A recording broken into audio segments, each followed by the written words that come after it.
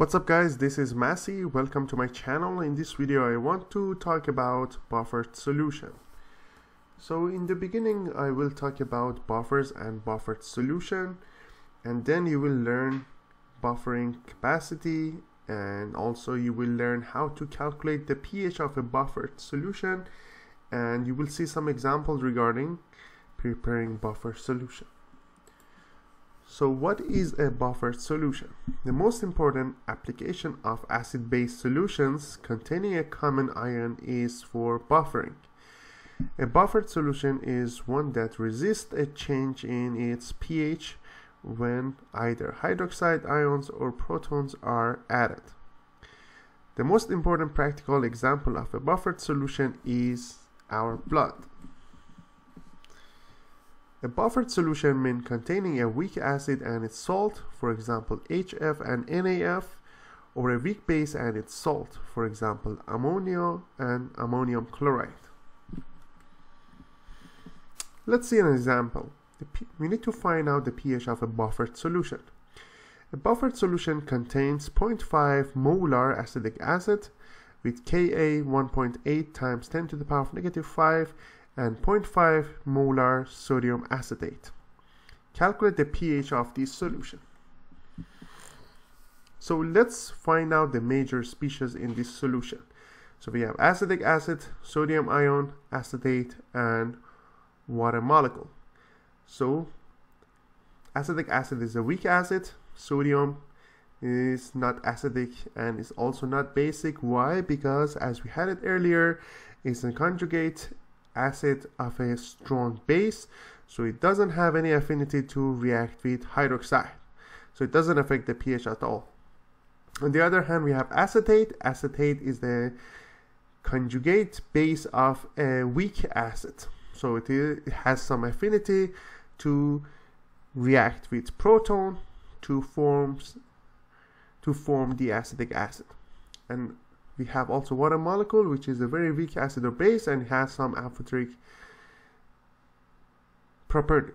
So when we write the equation for acetic acid that produces proton and acetate, so Ka 1.8 times 10 to the power of negative 5 as it given, we can write it as the concentration of proton and concentration of acetate ion divided by concentration of acetic acid in equilibrium.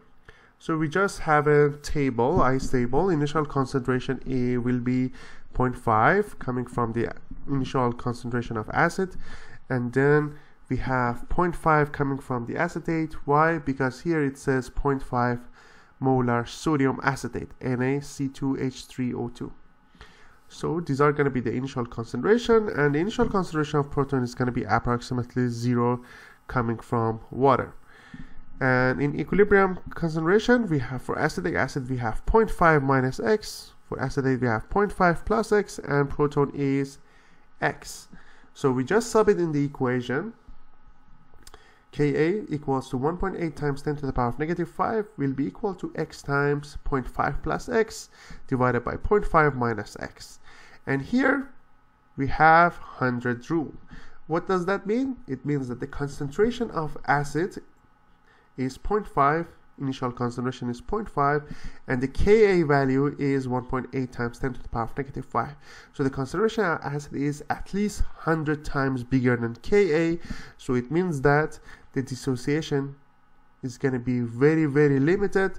So x is going to be very very small comparing to 0.5 so 0.5 plus x will be approximately equals to 0.5 also 0.5 minus x will be equal to or approximately equal to 0.5.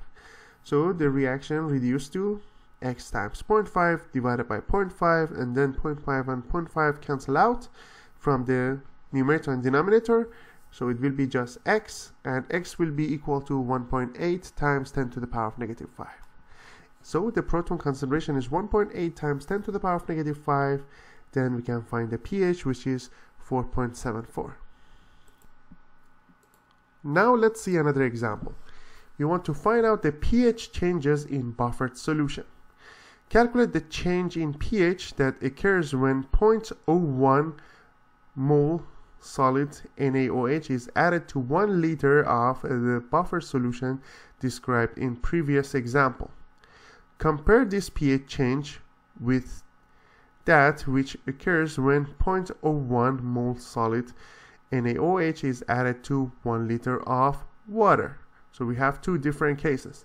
First case is going to be when we have 0.01 moles solid sodium hydroxide added to 1 liter of the buffered solution, which is described in the previous example. So since the added solid sodium hydroxide will completely dissociate, why it's completely dissociated? Because we have a strong base. So since it's strong base, it will completely dissociate into sodium ion and hydroxide ion.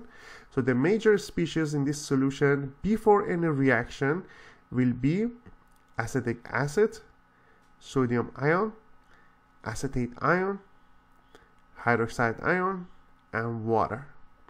So we have sodium ion and hydroxide. Why? Because we have a strong base. Note that this solution contains a relatively large amount of a very strong base hydroxide ion which has a great affinity for proton. The best source of proton is the acetic acid and the reaction that will occur is OH minus or hydroxide plus acetic acid which will produce water molecule and acetate ion. So that's going to be the stoichiometry problem. For the reaction below is going to be we have before reaction and after reaction we will have all the number of moles. So we have 1 liter times 0.5 will be 0.5 moles. Hydroxide we have 0.01 mole. This 0.01 is coming from the sodium hydroxide concentration. And then in the product side we have acetate which is 1 times 0.5 which is going to be 0.5 moles. And this one is coming from sodium acetate. So acetic acid will react with hydroxide. So on one side we have 0.5, the other side we have 0.01. So after reaction we will have 0.5 minus 0.01 which will be 0.49 and over there we have 0 and in the product side we have 0.51 mole. So note that 0.01 mole acetic acid has been converted to 0.01 mole acetate by added hydroxide.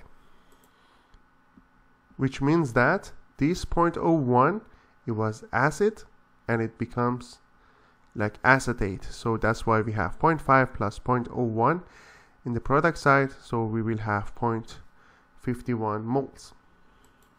Now let's go through the equilibrium problem after reaction between hydroxide and acid is complete. The major species in solution will be acid, sodium ion, acetate and water. And then acid will produce proton and acetate which will be 0.49 for the acid, 0 for proton and acetate will be 0.51. So we have negative x for the reactant side positive x and positive x for the product side. Then we have for the equilibrium we will have 0.49 minus x. Here we have x and here 0.51 plus x. We just sub it in in the equilibrium reaction Ka equals to x times 0.51 plus x divided by 0.49 minus x so x and x cancel out because the initial concentration of acid is much greater than Ka and then we can find out the value of x which is going to be the same concentration as proton which will be 1.7 times 10 to the power of negative 5 and the pH is 4.76 so by adding sodium hydroxide as you see here the pH has changed from 4.74 to 4.76 which is very small number Now in the second part of the question it asks, let's go back and check it. It asks compare this pH change with that which occurs when 0.01 mole solid NaOH is added to 1 liter of water. So it means that there is no buffered solution. So we add just sodium hydroxide, 0.01 mole of sodium hydroxide in 1 liter of water. So let's see what happens to pH. Now compare this with what happens when 0.01 mole solid NaOH is added to 1 liter. So it will be proton concentration will be Kw divided by hydroxide and the concentration of hydroxide will be 0.01 because we divided the number of moles by liter which is the volume it will be 1 times 10 to the power of negative 2 so the proton concentration will be 1 times 10 to the power of negative 12 and pH will be 12 so pH change will be 12 minus 7 which will be 5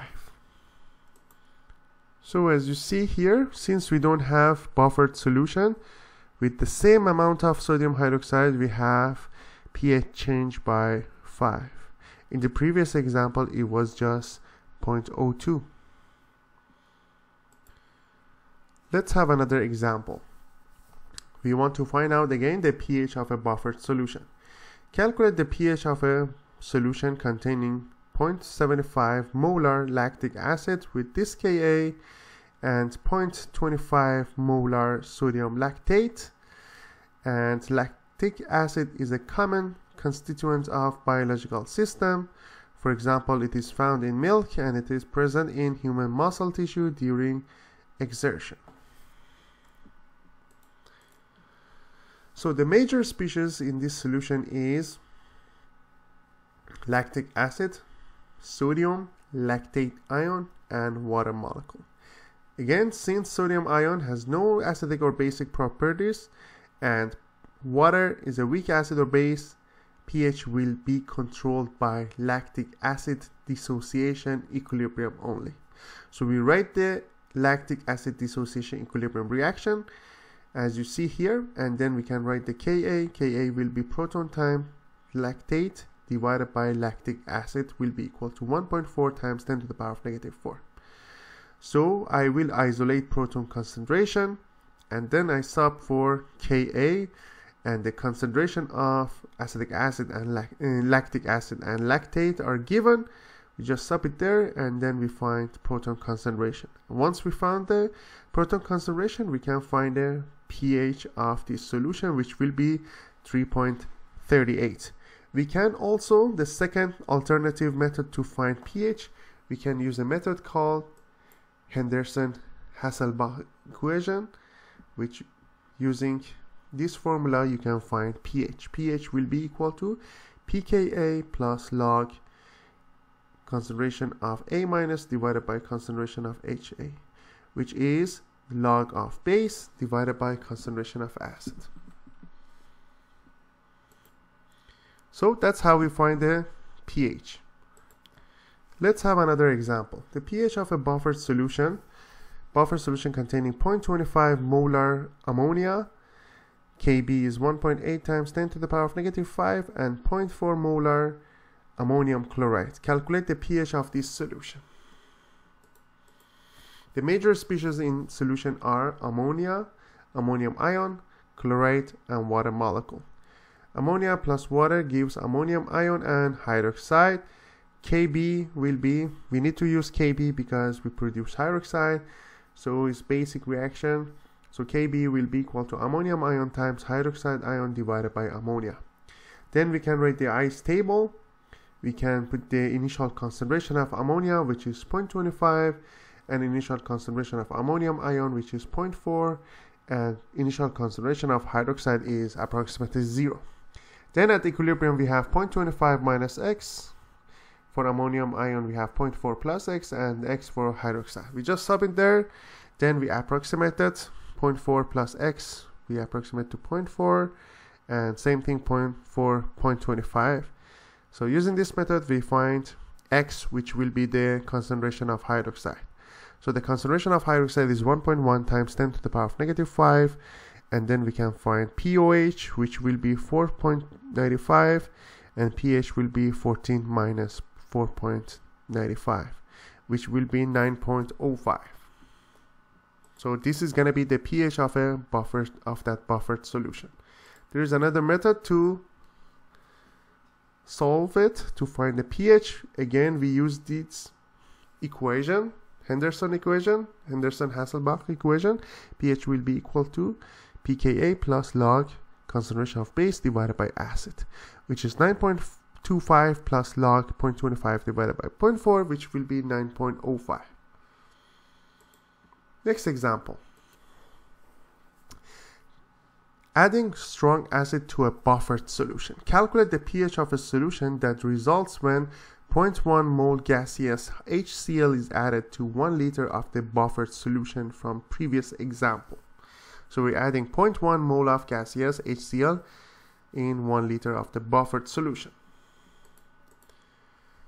So the solution contains the following major species. We have ammonia, ammonium ion, chloride, proton, and water ammonia plus proton is going to be ammonium ion. We have the reaction, we find the number of moles. So concentration times volume is going to be number of moles.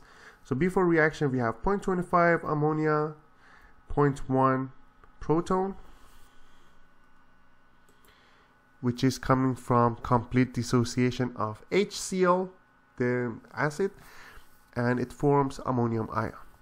So ammonium ion again concentration times volume it gives us 0.4 mole so then ammonia and proton react to each other and 0.25 minus 0.1 is going to be 0.15 and cons proton concentration cons consumed so it becomes zero after reaction and ammonium ion is going to be 0.4 plus 0.1 which is going to be 0.5 so then after the reaction goes to completion the solution contains the major species, ammonia, ammonium ion, chloride, and water molecule. So initial concentration of ammonia is 0.15 divided by 1 and initial concentration of ammonium ion will be 0.5 divided by 1. So 0.15 and 0.5 that will be approximately the concentration of base and the concentration of acid. We just put it in the equation for Henderson-Hasselbalch is pH equal to pKa plus log ammonia divided by ammonium ion. And the answer will be 8.73. Now in this part I want to talk about buff buffering capacity. The buffering capacity of a buffered solution represents the amount of protons or hydroxide ions the buffer can absorb without a significant change in pH. A buffer with a large capacity contains large contain concentration of buffering components and so can absorb a relatively large amount of protons or a large amount of hydroxide ions and show just a little pH change. The pH of a buffered solution is determined by the ratio of A minus divided by HA, the concentration of A minus divided by the concentration of the acid. The capacity of the buffered solution is determined by this magnitude. Let's have an example. Adding strong acid to a buffered solution. Calculate the change in pH that occurs when 0.01 mole gaseous HCl is added to 1 liter of each of the following solution. So we have two different buffered solution. One is solution A, 5 molar acetic acid and 5 molar sodium acetate. In the second solution, we have 0.05, which is very dilute acetic acid, and 0.05 molar sodium acetate. Now find out how much pH change we will notice if we add 0.01 mole of gaseous HCl in 1 liter of this buffered solution. So both for both solutions, the initial pH can be determined by the Henderson-Hasselbalch equation, which will be the same because the ratio of the ratio of them is going to be completely the same because the concentration of both the acid and salt in solution A and also in solution B are the same. It's going to be 1. So pH will be equal to pKa plus log 1 and log 1 is 0.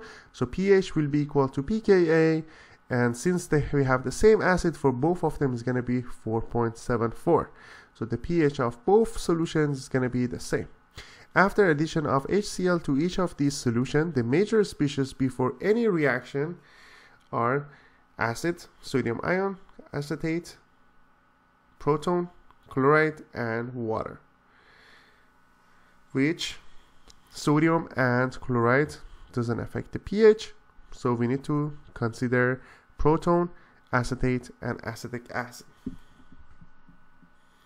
For solution A, since the solution volume 1 liter, the number of moles equals to molarity. So before reaction and after reaction, we have 0.01, for acetate 5, and for acid is 5, and after they react, it's going to be 0 for proton, 4.99 for acetate, and acetic acid is going to be 5.01.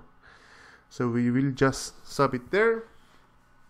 For solution number 1, it's going to be 4.74 plus log 4.99 divided by 5.01. That will be approximately still 4.74. Why? Because it's going to be a very very small number so we can neglect it. For solution B which was the diluted one we have proton concentration is 0.01, acetate is 0.05 and acetic acid is 0.05 as well. So when they react at the end, acetate's concentration will be 0.04, acetic acid concentration will be 0.06, and pH can be calculated as 4.74 plus log 0.04 divided by 0.06, and at the end we have 4.56. So although we have the same acid, because the second solution is much diluted, you will notice much more pH change and buffered solutions shows less resistance to pH change. So as you see here, solution A, the ratio in the beginning, both of them are 1. And the new ratio will be 0.98 for solution A and solution B is going to be 49.5, which is huge. So a change for the first one is 1.12.98 the second one 102.49.5 so we have just 2% change for the first one and almost 50% change for the second one so the pH of a buffered solution depends on the ratio of the concentration of buffering components. When this ratio is least affected by added protons or hydroxide ions, the solution is most resistant to change in pH. How to prepare a buffer. A chemist needs a solution buffered at pH 4.3 and can choose from the following acids. We have four different acids. Chloroacetic acid with the known Ka, propanoic acid, benzoic acid, and hypochlorous acid with different Ka values. Calculate the ratio of HA divided by A minus required for each system to yield a pH of 4.3, which system will work the best so pH has to be 4.3 so proton concentration will be 5.10 to the power of negative 5 we just sub in the equation and depending on the Ka value we can find out the ratio of HA divided by A minus. So what you see on the right hand side is the ratio of acid divided by the ion of the acid we have different numbers depending on different Ka values. So that was it. It's, it was related to buffered solution. I hope you enjoyed this video. If you found this video useful, please like it. You can also subscribe this channel to have access to many other videos regarding math, science, like chemistry, physics. Have a great day and thank you for watching.